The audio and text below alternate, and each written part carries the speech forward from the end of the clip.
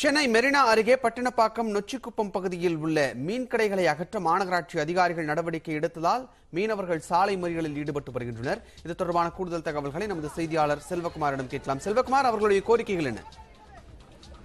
விஷ்ணு மெரினாவில் இருக்கக்கூடிய நொச்சிக்குப்பம் பகுதியை பொறுத்த மட்டில் நூற்றுக்கும் மேற்பட்ட மீன் கடைகள் இங்கே இருக்கின்றன. ஒரு பாரம்பரியமாக ஐம்பது ஆண்டுகளுக்கு மேலாக இருந்து வரக்கூடிய ஒரு மீன் சந்தை.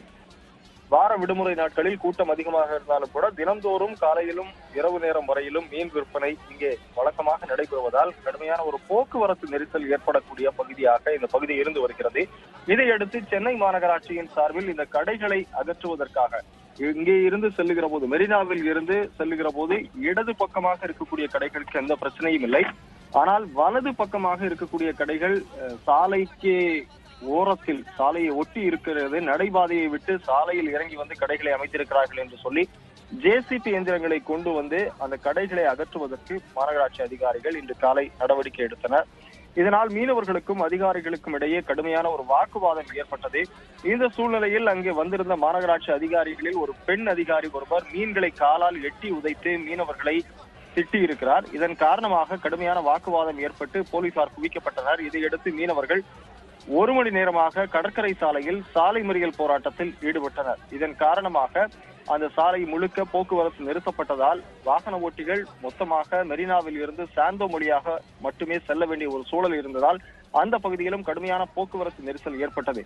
ஆனால் மீனவர்களை பொறுத்தமட்டில் இந்த இடம் எங்களுக்கு சொந்தமான இடம். பாரம்பரியமாக பல ஆண்டுகளாக நூறு ஆண்டுகளுக்கு மேலாக நாங்கள் வசித்து வரக்கூடிய பகுதி. எனவே இந்த சாலையை யாருக்கும் தர முடியாது. ஆரம்ப காலகட்டத்தில் காலையில் ஒரு மணி நேரமும் மாலையில் ஒரு மணி நேரமும் மற்றும் போக்குவரத்து நெரிசலை குறைப்பதற்காக இந்த சாலையை பயன்படுத்திக் கொள்கிறோம் என்று மாநகராட்சி அனுமதி கேட்டது. ஆனால் இப்போது முழு நேரமாக ஒரு விரைவு சாலையாக மாறுவதற்கான ஒரு சூழல் இருக்கிறது. முழு நேரமும் இப்போது இங்கே போக்குவரத்து நடைபெற்றுக் கொண்டிருக்கிறது. இன்னும் கூடுதலாக விரிவாக்கம் செய்து விரைவு சாலையாக மாற்றுவதற்கு மாநகராட்சி திட்டமிட்டிருக்கிறது. இதற்கு ஒத்துக்கொள்ள முடியாது. இது எங்களுடைய பாரம்பரியமான இடம். இதை விட்டு தருவதற்கு வாய்ப்பே இல்லை என்று பிடிவாதமாக இருந்தார்கள். இருந்தாலும் கூட தற்போது அதிகாரிகள் பேச்சுவார்த்தை நடத்தி தற்காலிகமாக இதை ஒத்தி வைத்திருக்கிறார்கள்.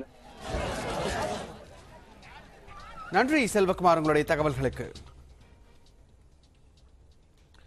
சீர்காழி